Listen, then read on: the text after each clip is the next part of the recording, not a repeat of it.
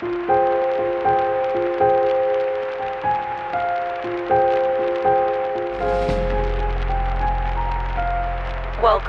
to Blood and Business. I'm Bethany. And I'm Cassie. Today we're telling a story of siblings born and bred to run the world. They were the most infamous family of the 20th century. Their story drips with conspiracy. Their names, whispered through the decades since they left their voices, echoing in time and space. Their hands helped mold the America we know, sharing with their country dreams of landing on the moon, freedom for every man. And by example, they inspired generations to reach the highest heights.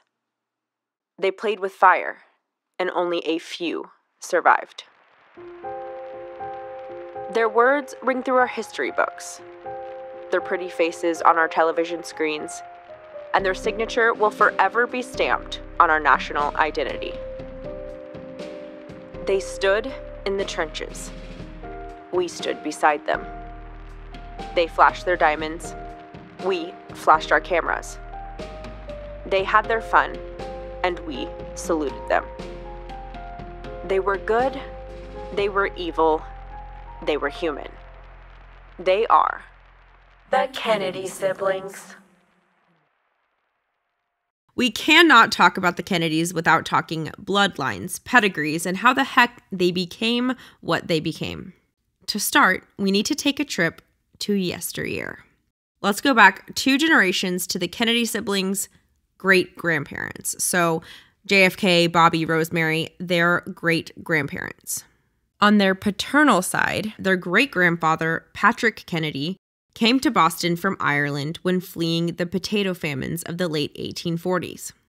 He made wagons and whiskey barrels for a living, and after marrying Bridget Murphy, fathered three daughters and a son before dying of cholera in 1858 at the young age of 35. On their maternal side, their great grandfather Thomas Fitzgerald was also Irish. He stayed in Ireland for a little while longer, trying to hold on to his farm for as long as possible. But eventually, in 1854, the famine drove him to America as well. He initially settled in a farm town 25 miles outside of Boston, but times were rough and he eventually had to relocate to Boston's North End Irish ghetto. If you aren't a history nerd like we are, American immigrants used to congregate together in neighborhoods with all of the other people from where they were from. The Irish ghetto was a crowded slum of wooden tenements, kind of like apartments, but bare bones and not at all like apartments. Imagine wood floors, maybe some running water, but that's pretty much it. If you want to see what Cassie's talking about, you can either Google it or we also have interactive videos that have photos pop up as we talk about each scene, and that's available on Patreon. So, people new to America would bring their most prized possessions from their old world, just one suitcase or maybe two, and try to start over in a new place. But that was hard everything is different and new and strange. And so, just to find a little bit of comfort and familiarity, you kind of flock to the other people who are also from your home. Someone who lived in the Irish ghetto at the same time as their great grandfather said this It was a dreary, dismal, desolate world in which all was mean, nasty, inefficient, and forbidding, except for the Catholic Church, which provided spiritual comfort and physical beauty. And that's another thing about the Kennedys. If you know anything at all about the Kennedys, you probably know that they were Catholic. Our first Catholic president, by the way, was JFK. The Kennedys were Catholic as you could be in a new world full of Protestants. So that's another reason that people would cluster together. Similar faith and belief systems, but it was something of a scarlet letter to be Irish back then. A lot of people had fled the potato famines this was all that JFK and his siblings knew about their ancestors, just that they had fled the famines and lived in Boston in the Irish ghetto. That was it. Their parents, Joseph Patrick Kennedy and Rose Fitzgerald Kennedy, told them very little about where they came from because they wanted to shed their Irish identity and become simply American. So, Rose, the Kennedys' mom, put a lot of effort into ignoring their Irish heritage and made sure to take them to all of the historic revolutionary landmarks around Boston and New England. And Janet Bouvier was the same way, remember? Jackie and Lee's mom, if you've listened to the Bouvier episodes. Her maiden name was Janet Lee, and her family had escaped the Irish potato famine too, but she didn't want to be known as Irish, so she went around telling everyone that she was related to Robert E. Lee, the Confederate general. By the way, if you have not listened to the Bouvier sisters episodes, go listen to those. Their story intertwines endlessly with the Kennedys. So it wasn't all from bad taste, though. Boston was notorious for Protestant American families that had been there since the Revolutionary War, treating Irish Catholics as less than. And a lot of that still lingers to this day. The Kennedy parents were privileged, but they still felt like outsiders, and they had the mentality that they needed to prove themselves. I've never been to Boston, so I don't know how it is now, but apparently pretentious attitudes were a dime a dozen, especially back in this time. There were harsh lines between classes, and coming from the quote unquote wrong side of the tracks in Boston, just go look up the saying where the Lowells speak only to the Cabots, and the Cabots speak only to God. You did not get to jump castes. A lot of it stemmed from how much history happened in Boston and how so many of the country's leaders were educated at Harvard. There was a chip on the shoulder of Boston's elite. Okay, so now let's talk about their children, the people who came to America fleeing the famines, children, the Kennedy's siblings' grandparents. These are people that the Kennedy siblings actually knew and hung around a lot. Both sets of grandparents were really big family people, and they were also huge public figures in Boston. They turned the family story from poverty to comfort and opened the door for Joe and Rose Kennedy, JFK's parents, to build the ridiculous wealth that they amassed. Patrick Joseph Kennedy, Joe Kennedy's father and JFK's grandfather, was born in 1858, the same year that his dad died. His mother, Bridget Murphy Kennedy, supported him and his sisters by herself as a saleswoman. When Patrick turned 14, he left school and went to work at the Boston docks to help support his mother and his three older sisters. He saved up all of his pennies and in his late 20s was able to start his career as an entrepreneur by purchasing a saloon and then a few more locations before starting his own company and becoming a leader in Boston's liquor trade. Wait, you said at 14? At 14, he left school. And then his like entrepreneur journey started When he was an adult. when he was an adult. So he went to the Boston docks to work as a child, skipped high school, and then from there he like saved up all his money from working at the Boston docks to start buying saloons and then he ended up getting into the liquor business and making a lot of money. He became really popular among the locals and he was said to be super likable. He was always eager to help those in need with a little cash and some sensible advice, skills he had crafted during his time as a bartender in his saloons that he bought, and his reputation afforded him five consecutive terms in the Massachusetts lower house, establishing him as one of Boston's main Democratic leaders. He was even invited to give a speech at one of Grover Cleveland's parties. He was the president, by the way, if you need a little history refresh. Grover Cleveland, one of our presidents. So the Kennedys were already well on their way to becoming a prominent name even before the 20th century. Patrick married a girl from an affluent, quote unquote, lace curtain Irish family. Her name was Mary Hickey, and this partnership solidified his move into Boston's middle class. They had two daughters and one son, Joe Kennedy, before Patrick's death in 1929. And then on the Kennedy siblings' maternal side, Rose Kennedy, their mom, was a Fitzgerald before marrying Joe. Now, this is where you really need to pay attention. This is where it all comes together. Her father, JFK's other grandpa, was even more well known in Boston, and he also had a greater influence on his grandkids. Born in 1863, John Fitzgerald was the fourth of 12 children. His father, Thomas Fitzgerald, who was the farmer that eventually ended up leaving the outskirts of Boston and having to move to the Irish ghetto, Mhm.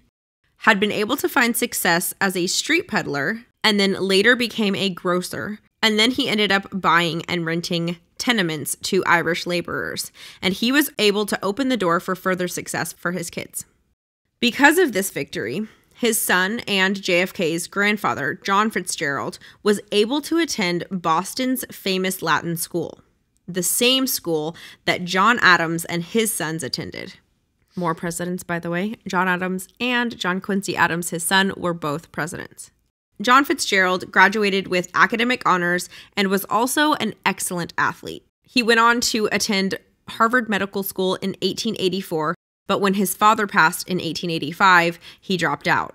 Medical school had been more of his dad's idea than his, and now he had six younger brothers to care for. So he went to work at the city's customs house and ended up as a secretary to one of Boston's politicians. In 1891, he used his love of people and politics to land him a seat on Boston's Common Council, and he lobbied to spend $350,000 in the early 1900s on a public park for the Irish ghetto in Boston's North End, the one that his family was from. He won this proposal over a bunch of representatives from wealthier areas, which was really impressive. He was a natural politician. He was known to have perfected the quote unquote Irish switch. What is an Irish switch? So you chat with one person while shaking another person's hand. And at the same time, you're also smiling and throwing a wink at a third person across the room. So, like And that multitasking, is- schmoozing. Yes, that is the art of being a diplomat. he was so warm and charming that people just started calling him Honey Fitz. He even had a poem written about him. Honey Fitz can talk you blind on any subject you can find fish and fishing, motorboats, railroads, streetcars, getting votes. His gift of being able to just chat endlessly became known as Fitz Blarney.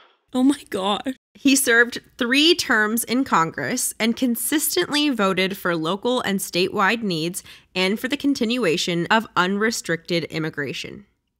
Once, when another congressman was lecturing him on the virtues of protecting this country from inferior aliens corrupting it, he asked Fitz, Do you think the Jews or the Italians have any right to this country? He replied, As much right as your father or mine. It was only a difference of a few ships. Mm, snaps.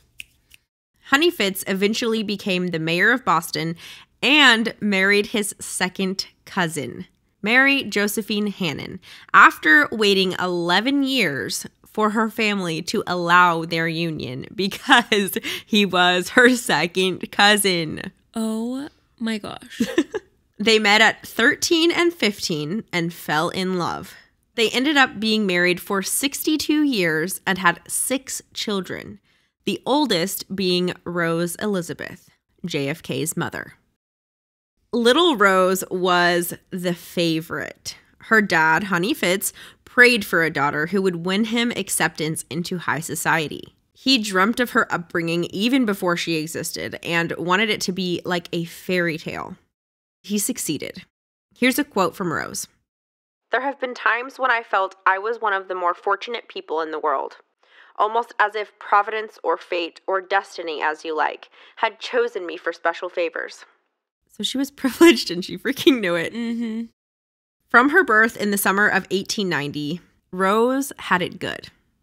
She remembered, quote, a big, old, rambling, wonderfully comfortable house, serenity, order, family affection, horse and buggy rides to my grandparents' nearby home, climbing apple trees, picking wildflowers.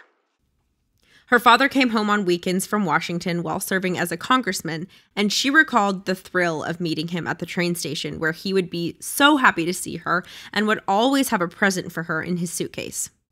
Quote, There was no one in the world like my father, she said. Wherever he was, there was magic in the air.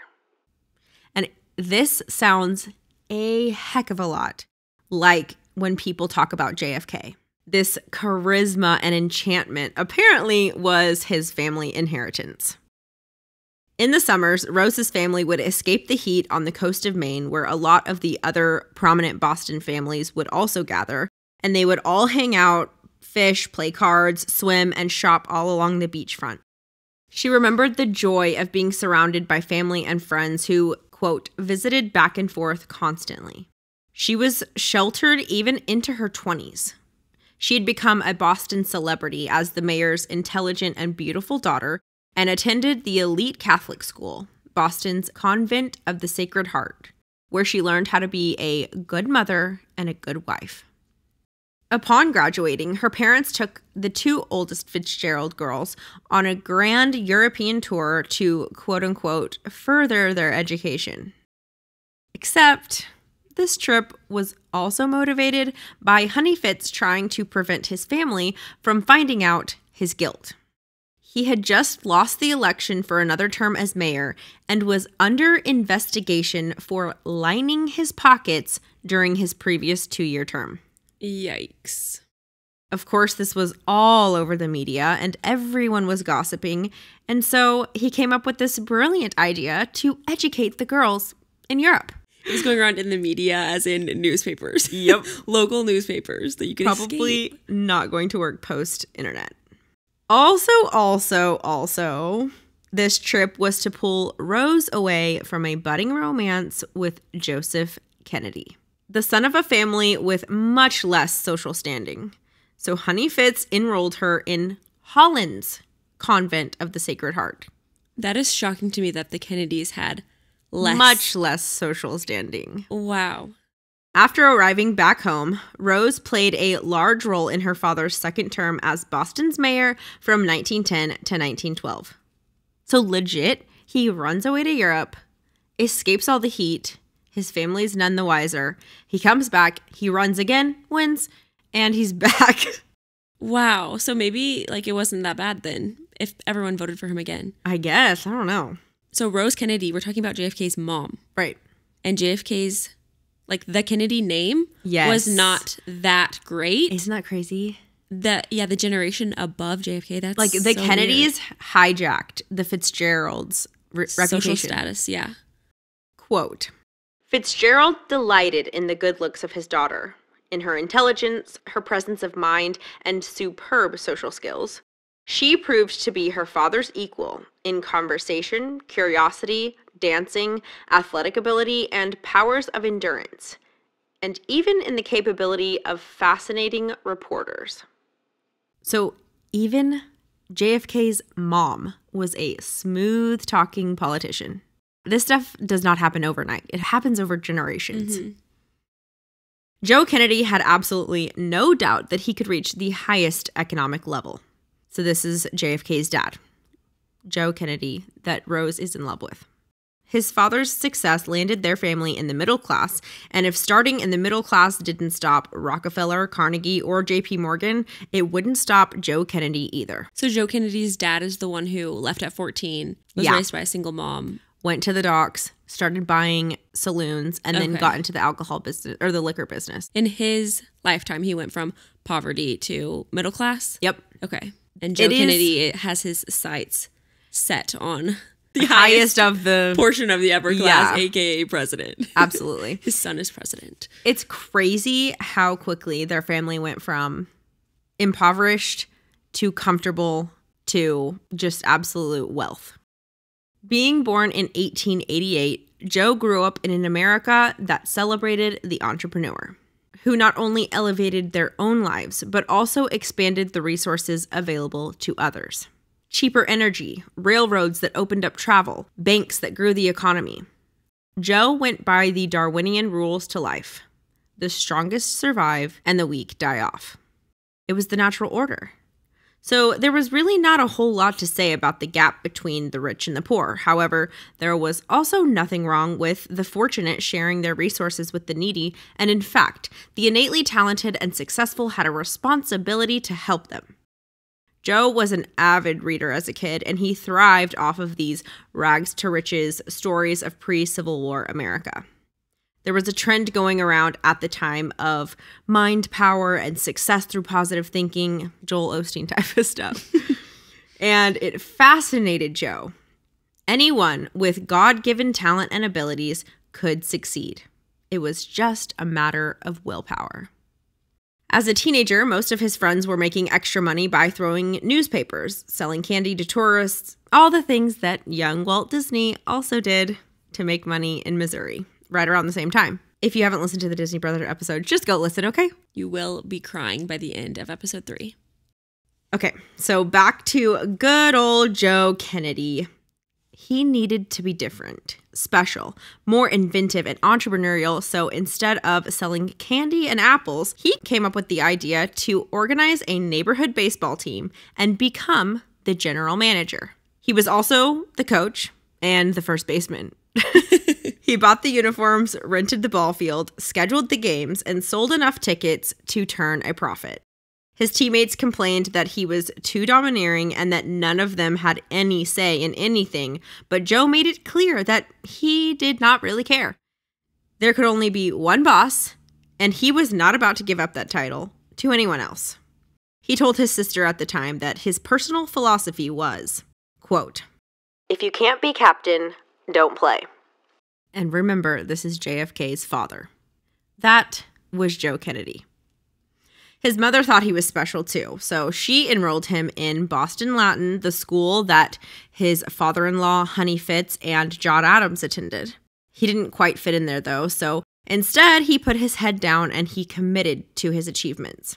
He became a colonel on the drill team that won a citywide competition. He was the captain of the baseball team, and in his senior year, he was the player with the city's highest high school batting average, for which he won the Mayor's Cup. Afterwards, he went on to attend Harvard, where he still never fit in. Harvard was full of golden boys from millionaire families who came to college with servants and lived in luxurious residence halls with central heating, swimming pools, and private bathrooms in the early 1900s. Joe lived in the poorly heated dorms with primitive plumbing. Again, though, he did not allow it to stop him from taking everything that Harvard had to offer. He did not feel inferior. Instead, he built a social network of friendships with former classmates and athletes, and in his sophomore year, he and his closest friends became class leaders, serving on the student council. After graduating in 1912, Joe started his career in banking. Not because he was talented in that field, he actually had to drop his finance class because he was failing but because he had heard of the astounding power and influence that bankers had over the national economy. So he was like, I don't care if I'm quote unquote well adjusted to this. If that's the best that this country has to offer, I'm freaking going for it and I'm going to have a seat at the table. In the summer of 1906, when Joe was 18 and Rose was 16, they fell in love.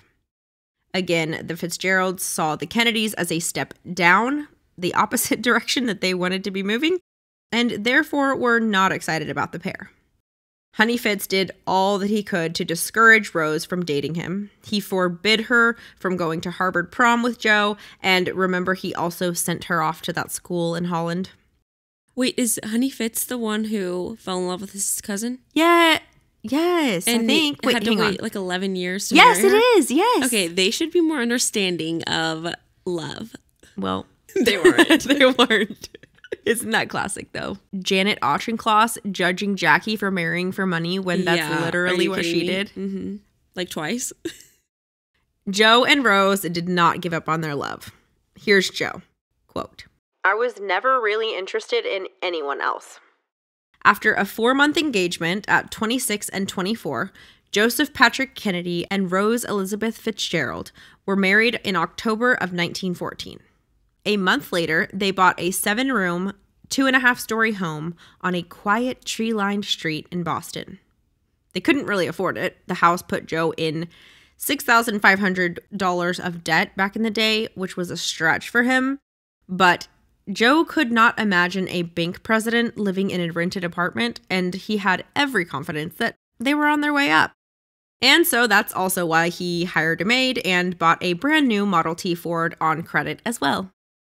The following summer, Joseph Patrick Kennedy Jr. was born at Nantasket Beach in Massachusetts.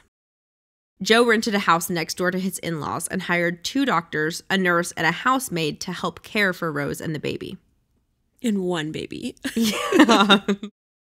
okay. All hands inside the vehicle at this time. This part is freaking creepy and insane. Before their first baby was born, speculation was that he would be named after his maternal grandfather, John Fitzgerald. But Joe Kennedy insisted that he be named Joseph Patrick Jr. after him. So even though Honey Fitz finds out that they're not naming his first grandson after him, he still predicted that the baby boy would have an incredible life. Here's a quote from Grandpa Fitz talking to a reporter. Quote, He is going to be the President of the United States. His mother and father have already decided that he is going to Harvard, where he will play on the football and baseball teams and incidentally take all of the scholastic honors. Then he's going to be a captain of industry until it's time for him to be president for two or three terms. Further than that has not been decided. Further than that. Oh my god. Wow, thank you for leaving so much freedom for this child. He may act as mayor of Boston and governor of Massachusetts for a while on his way to the presidential chair. Oh, may he.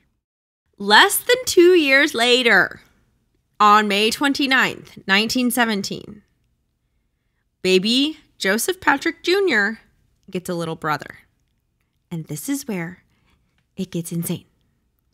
There's not as much fanfare and drama around this birth. Honey Fitz didn't go after the reporters being like, listen here, ye. But he was a healthy baby. He was a boy. They did name him after Grandpa Honey Fitz. His name was John Fitzgerald Kennedy.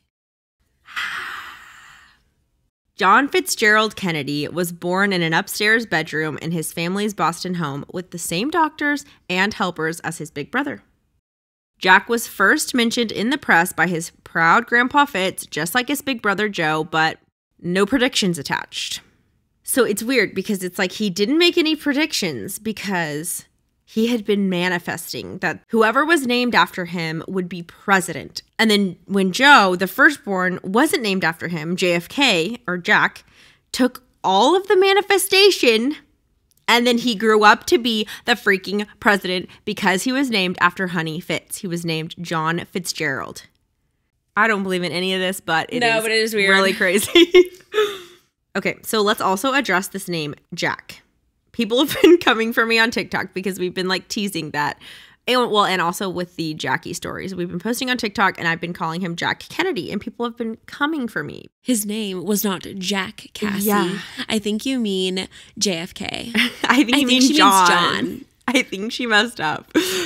But no, guys, I have actually done research and I actually know these stories. I promise you, I'm not just getting up here and spouting nonsense, okay? So, yes, his name was John, but he was also Jack. And everyone called him Jack. Yes, I don't know why. It's apparently like a commonly used nickname for John back in the day. It's the same amount of syllables John, Jack. But it was like, I guess, more casual, and I guess a nickname doesn't have to be shorter. It's an endearing term. All of everyone in JFK's intimate life, friends and family, always called him Jack, Jack Kennedy. If you listen to the Bouvier episodes, you already know this. It was so confusing in that story with all of the Jacks. Jackie, her father, Black Jack, Jack Kennedy. There were more Jacks, but yes, Jack Kennedy. Also known as JFK. The same day that Jack was born, his father Joe was elected to the board of Massachusetts Electric Company, making him one of the youngest trustees of a major corporation in America at just 28 years old. Here's a quote from Robert Dallek's book, An Unfinished Life. It was the start of Joe's meteoric climb in the business world, which, paradoxically, the war would serve. Joe Kennedy did not believe in war. A lot of Americans viewed World War I as this romanticized, idealistic mission to end conflict and protect democracy. But Joe thought that sacrificing his life or anyone else's was ridiculous and futile. He was too cynical about human nature to believe that anything good could be accomplished by fighting. And this was actually a very unique perspective in his circle of colleagues. Also, something unique to Joe's perspective was that he did not process or judge world problems on the morality or political ramifications, but instead on how he thought they might affect his life and his business ventures or those of his sons. Honorable. At this point, Joe left the banking world and he got a job as the assistant general manager of Bethlehem's steel shipbuilding plant in Massachusetts. He only made a salary of $15,000 a year, but that is not what was so important about this job. The experience, business contacts, and most of all, the chance to show his skills in managing a multi million dollar enterprise was invaluable and opened the door to bigger opportunities down the road. He was at this job for only 18 months. Joe worked around the clock, sometimes sleeping in his office for only an hour or two a night. He was also incredibly inventive, focusing especially on efficiency and effectiveness. They even gave him a bonus check when he left in the summer of 1919, stating, quote, For services rendered at a time when no one else could have done what you did. This is during World War One. Joe had made a promise to himself to make his first million before he turned 35. So he came up with a plan. He got a $10,000 job, which was a step down for him, to gain insider information, and he used the stock market to make investments that netted him nearly $2 million over the next six years. All of this money afforded Joe and Rose several more children. Remember, they are Catholic. In 1918, Rosemary was the first of four daughters right in a row. Kathleen was born in 1920, Eunice in 1921, Patricia in 1924. Robert Francis was born in 1925. That is the Bobby Kennedy. And then Jean Ann in 1928 and Edward Moore in 1932. And that's Ted Kennedy, by the way. Nine children in 17 years. Joe loved the attention that his big family brought him, and he also loved the image that it portrayed. The fact that he could provide a lavish life for so many people. In 1921, they moved to a 12 room house with a long enclosed porch that the kids could play on, and they got a live in nanny. But, like we've talked about in all of our wealthy sibling stories that we've covered, Resources do not eliminate troubles, and for all of the status, image, and privilege that the Kennedys had, they had more problems. Joe and Rose kinda barely got along, and the kids knew it. It was a heavy burden. Rose's staunch religious views and the intense requirements that she learned from the schools that she had been to didn't allow much fun or joy in everyday life. She meticulously followed rules and expectations set by the culture that she grew up in without much question. So we know that Joe was always thinking outside the box and prided himself on being an independent thinker. He still mostly played by the rules of society, but he was just a bit different and willing to be a bit different. And he was proud of that. The thinking outside the box mentality did not stay confined to business for Joe. His willingness to defy accepted standards came out the strongest in his habitual love affairs. So I'm going to go into Joe's relations and endless affairs because it sets up the context that the Kennedy kids grew up in. And you'll see later, the Kennedy way of thinking was just completely jacked up and not normal and highly influenced by their father, Joe Kennedy. Most people speculate that it started because Rose would rarely have relations with him because she was so strictly Catholic. But do I care? Absolutely not. Joe was a scumbag when it came to his marriage. He had endless casual lovers. A famous story about the Kennedys is that at a dinner party or some like gathering with friends, Joe was teasing Rose in front of a group of friends, and he said something like, Now, listen, Rosie, this idea of yours that there's no romance outside of procreation is simply wrong. It was not part of our contract at the altar. The priest never said that, and the books don't argue that. And if you don't open your mind to this, I'm going to tell the priest on you. In front of people, I would have died. But Rose apparently did not change her mind because after her last child was born in 1932, one of her friends reported that she declared, quote, no more sex. And moved herself into a separate bedroom. Regardless of Rose's choices, though, Joe would have still been exactly who he was He had to win everything all the time and was never content. He made everything into a competition and he was always looking for new challenges in business, politics, banking. So it's hard to believe that he would have ever been content with one woman. Maybe Rose knew that and she was like, screw you. Joe also put forth very little effort to hide his unfaithfulness. Joe wrote to a theater manager in New York once. I hope you will have all the good looking girls in your company looking forward with anticipation to meeting the High Irish of Boston because I have a gang around me that must be fed on wild meat. Who talks like that? Pigs. A political reporter who knew Joe said, quote, For him, women were another thing that a rich man had, like caviar. It wasn't sex, it was part of the image. His idea of manliness. And what year is this? I have to ask that in every episode. But, you know. At least once. This is in like the mid 20s. When you just said that, it made me think like not just Great Gatsby, but the whole like party flapper girl, yep. saloons, yeah, animal like behavior because everyone was swimming in like the best time of their life. Therefore, everyone was like drinking and doing drugs and sleeping with each other. Absolutely zero self control. Just partying all the time. So, in the Bouvier sisters episode, I had actually said that as long as Joe didn't bring his mistresses around the family or flaunt them in Rose's face, that it was accepted in the Kennedy home. But in Robert Dallek's book, An Unfinished Life, it says that Joe did bring them around the house. Here's a quote from Betty Spalding, the wife of one of Jack's closest friends who witnessed all of it. Quote And the old man, having his mistresses there at the house for lunch and supper. I couldn't understand it. It was unheard of. And allegedly, he would tell visitors that these women he had hanging around his house were just friends of his daughters.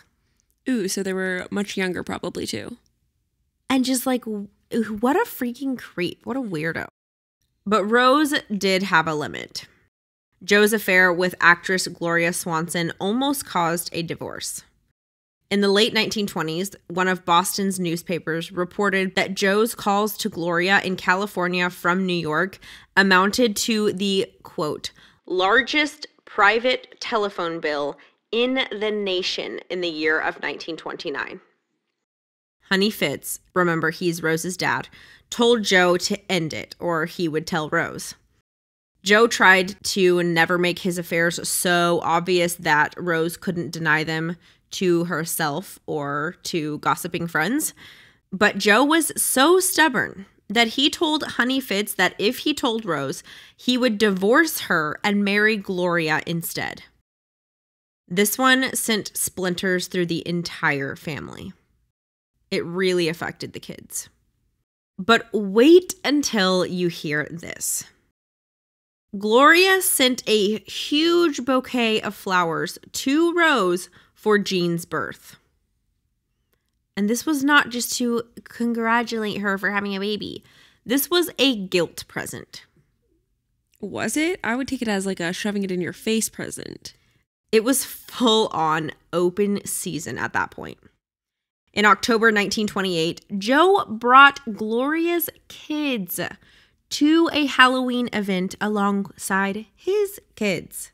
And soon after testing those waters, trying that out, he ended up flying Gloria straight into Hyannisport, the family home, vacation home, and made Rose play nice with the woman she knew was sleeping with her husband. Oh, heck no. Biographies say that the consequences from that affair never went away. Gloria scarred the Kennedys. Mm. They were a beautiful match on paper, Joe and Rose. They were just such opposites when it came to the way that they saw the world and how they wanted to interact with it. Joe also thought that Rose belonged to the kitchen and he held her back from living the life that she wanted to live. She mostly played the quote unquote good wife and repressed her desire to do more. She was not a perfect parent either.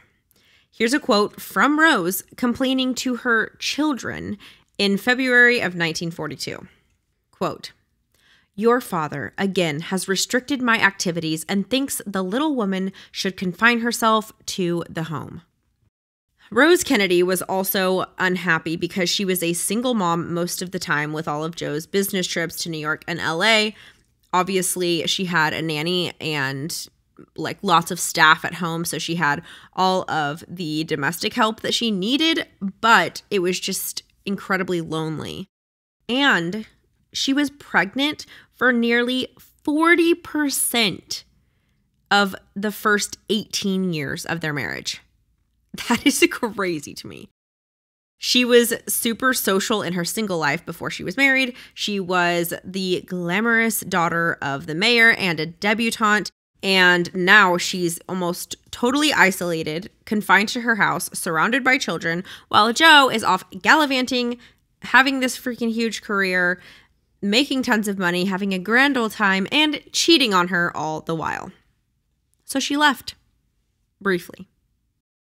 In early 1920, she was pregnant with Kathleen, her fourth baby, when she took her other three kids, Joe Jr., Jack, and Rosemary, and then Kathleen's in her stomach. She went and stayed at her parents' house for three weeks before Honey Fitz told her to, quote, Go back where you came from. Thanks, Dad. She was exhausted, but she was also a devout Catholic who believed that divorce was a non option, and so she went back to freaking Joe, determined to be a good wife and make it work. So they came up with an agreement, Joe and Rose, on how to make their marriage last and allow her to stay sane as a mother. She could regularly travel around the United States and pretty much wherever she wanted to, to give her some freedom from the constant household demands. In the mid 30s, she made 17 trips to Europe where she shopped for the latest fashions and lived it up as a tourist. They also made arrangements that Joe would be home anytime she was gone, or at least close enough to tend to the children. Another rule they came up with was the promise to each other that neither of them would burden each other with home life or family problems while they were gone, so as not to ruin their trips. I'm like beginning to wonder why they had children. Honestly. So he would not contact her even if things went wrong with the kids, and she would do the same for him. So, when she got in a car accident and had a large gash in her forehead, she did not tell Joe until he came home from Hollywood. And when the Kennedy home was struck with a measles outbreak, Joe did not tell Rose until she was back from her six week trip to California. Quote He did not want to worry me and perhaps cause me to cancel part of my trip, Rose recalled. And when she got in that car wreck, Joe called from California. She was literally lying down with a quote, good sized gash in my forehead. I spoke naturally, gave him news of the children, told him what a fine day it was, a perfect day for golf. Then I drove to the hospital where the doctor took five stitches in my forehead. So she literally, like, actively was like, don't say anything, play it cool. It was an accommodation that allowed them to keep their family in one place. So I guess there's that. But which is worse on the kids? I have no clue. A decade later, in 1939, Reader's Digest put out an interview with Rose asking her how she ran her family.